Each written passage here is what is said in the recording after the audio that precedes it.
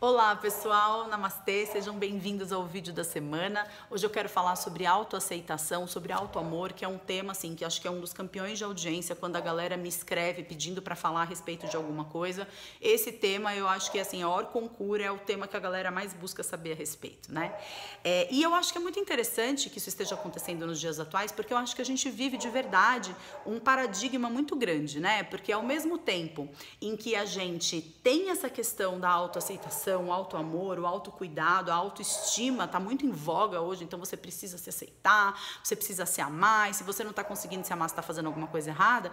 Ao mesmo tempo, a gente está assim, né, sufocando sobre o peso dos digital influencers e dos é, da, da galera aí das redes sociais, né? E mostrando uma vida que muitas vezes a gente compara com a nossa própria vida a nossa vida sempre perde. Então, como que eu faço para me aceitar sempre perdendo dos outros, sempre estando num lugar que eu acho acho que eu não deveria estar, né? Eu deveria ser diferente, eu deveria ter um corpo assim, eu deveria ter uma vida assim, eu deveria ter um namorado assim, eu deveria ter uma, um, um, um trabalho, um contexto todo que eu não tenho. Como que eu faço para me aceitar dentro de um contexto que eu não tenho? É, eu falo com bastante propriedade sobre isso, porque, como eu já comentei aqui no canal algumas vezes, isso não é novidade para ninguém, no meu livro também tem isso. É, eu sofri de transtornos alimentares durante muito tempo na minha vida e eu ainda tenho aí algumas questões, principalmente depois da segunda gestação agora do Dante, que me fazem perceber que essa é uma questão que não está totalmente resolvida na minha vida, né?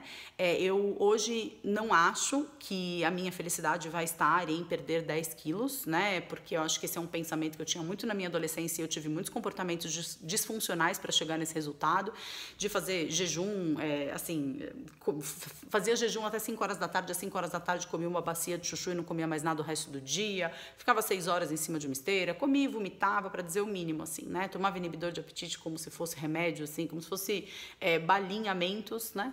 É, e, e, e, assim, eu aprendi ao longo da minha vida de que emagrecer os 10 quilos não é o que vai me trazer a minha satisfação pessoal. É, o que eu quero hoje é me sentir bem dentro do meu corpo, né? É, e dentro do meu corpo independe da forma física desse corpo, né? Graças a Deus eu faço exames com frequência, eu sei que eu tô saudável com o meu peso, então é, eu ainda tenho essa voz que me diz, mas você se gostaria mais se você fosse mais magra. Assim como muitas pessoas que me escrevem dizem isso, né? Eu tenho essa voz dentro da minha cabeça cabeça que me diz: eu gostaria mais de mim se eu tivesse dentro de um relacionamento, eu gostaria mais de mim se eu tivesse é, capacidade de fazer tal viagem, eu gostaria mais de mim se eu tivesse o cabelo de tal tipo, eu gostaria mais de mim se o meu trabalho XPTO, né? Então, é, eu acho que a grande pegadinha da autoaceitação é essa, é esse condicionamento que a gente faz. Ah, eu vou me aceitar se tal coisa acontecer. E é claro que a gente pode correr atrás dessas coisas acontecerem, tá? Não estou falando falando para ninguém aqui deixar de procurar um trabalho melhor, fazer uma viagem bacana, emagrecer se quiser emagrecer, é, alisar o cabelo se quiser alisar o cabelo, mas assim, eu acho que quando a gente condiciona o me sentir bem a ter que fazer algo para me sentir bem, que não seja desenvolver um amor genuíno por quem eu sou nesse momento, né? Por exemplo, vou falar de mim para não falar dos outros, né? Então, hoje qual é a minha realidade? Eu estou hoje no mesmo peso que eu estava antes de engravidar do Dante. Só que as minhas roupas não me servem mais, porque o peso voltou, mas a barriga é diferente. Então as calças não fecham na minha barriga e as roupas que servem são roupas que eu não consigo colocar um peito para fora para dar de mamar. Então eu tô nesse limbo, né? É, que sem dúvida nenhuma, se eu emagrecesse 5 quilos, o assunto estava resolvido. Porque é, as roupas que não me servem me serviriam, as roupas que é, não, não funcionam nesse momento da minha vida porque não é, servem para amamentação, eu simplesmente deixaria para lá porque eu tenho outras que me servem, o assunto estaria resolvido.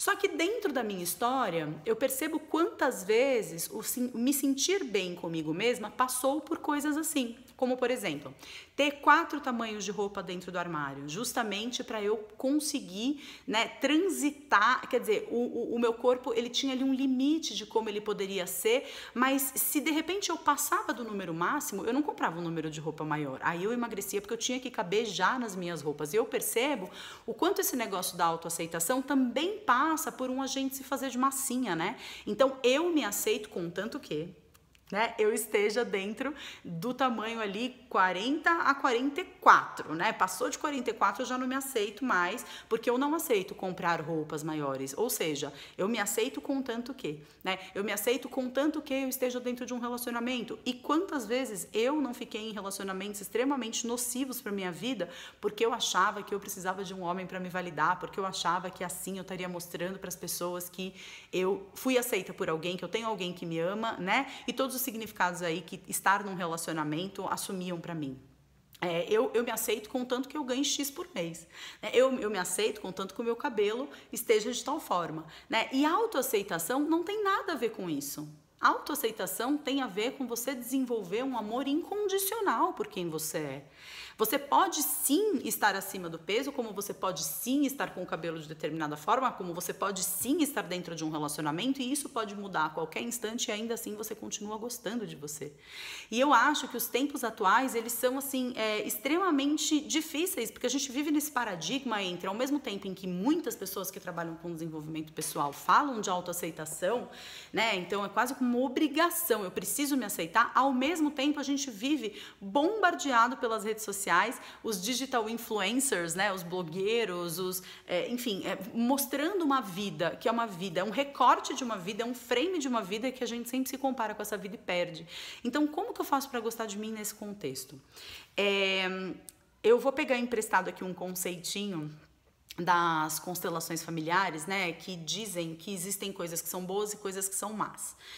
E o que, que é bom, o que, que é ruim, né, dentro desse, desse entendimento? É, bom é aquilo que está a serviço da consciência, a serviço uh, da, do crescimento, a serviço da expansão, né? E ruim é aquilo que está anti-serviço, né? Então, ruim é aquilo que impede o meu crescimento, é aquilo que me faz é, involuir. Em vez de eu evoluir, eu involuo. É aquilo que é, mascara a minha consciência, que faz com que o, movimento, o, o meu, meu movimento de aprendizado de expansão cesse.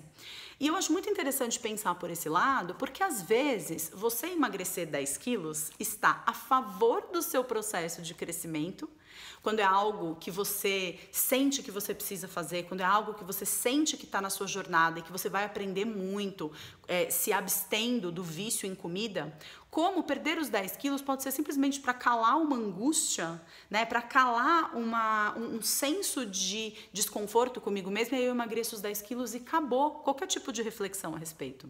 Estar dentro de um relacionamento, né? permanecer num relacionamento que no momento pode não estar favorável, pode não ser o relacionamento que mais te contenta, é, ele isso pode ser uma coisa positiva a serviço do seu crescimento e do seu aprendizado. É, quando você está ali lidando com as suas sombras, quando você percebe que você está projetando um monte de coisa na outra pessoa, quando você percebe que existe um você que está misturado com o outro, como pode ser um desserviço quando você só está engolindo sapo e sendo maltratado dentro de um relacionamento abusivo, porque você, é, né? Não, eu não preciso me questionar a respeito de por que, que eu estou sozinha na minha vida, eu estou dentro de um relacionamento. Então eu acho que esse critério, né, quando a gente associa a autoaceitação a fatores externos, então eu só me aceito quando eu estiver ganhando tanto por mês.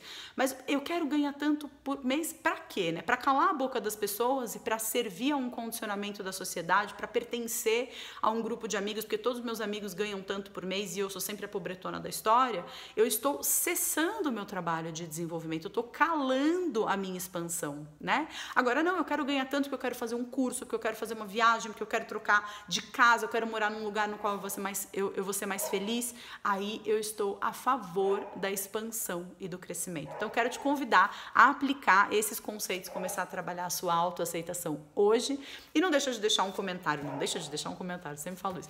Deixe seu comentário aqui embaixo, deixe o seu like se você tiver gostado, encaminha para alguém que possa se beneficiar desse conteúdo, se inscreve aqui no canal e aciona o sininho para receber notificações sempre que tiver vídeo novo por aqui.